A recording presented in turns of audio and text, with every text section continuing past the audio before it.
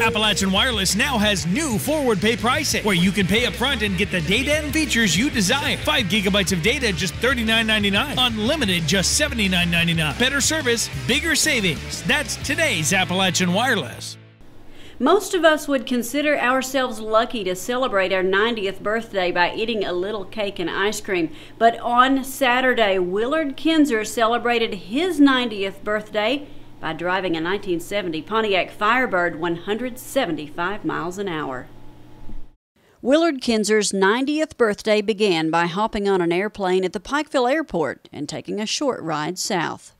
Well, we just we just landed in Bristol. We're getting ready to go out and uh, make a few practice runs in our drag cars.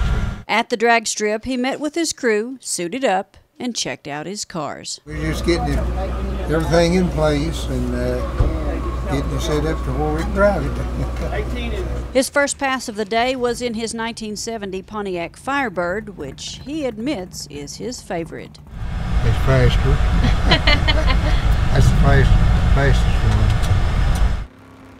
And that Pontiac did not disappoint, giving the Kinzer Racing Team their fastest run of the day.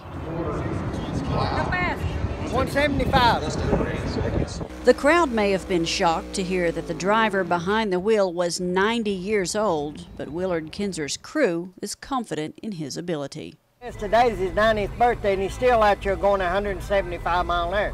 And he's still just right on, right on cue. I mean, everything he does is right.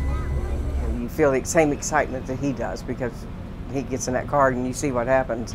He just comes alive, and that's really cool to watch. But to Willard Kinzer, age is just a number, and he says 90 feels way too high. I think somebody got the numbers mixed up. I would probably guess myself now to be about 65. and this 90 year old legend shows no signs of slowing down, which is no surprise to anyone who knows him. The people calls me every day asking about Willard and if he's going to race next year, if he's going to race next year. Of course he's going to race next year. He loves it. No, I, we didn't dream we'd ever be racing at 90. I yeah. honestly didn't. But I think that's what keeps him going. I really do. Just can't can't get it out of my system. Happy birthday to you. Blow it out there, windbag. Yeah.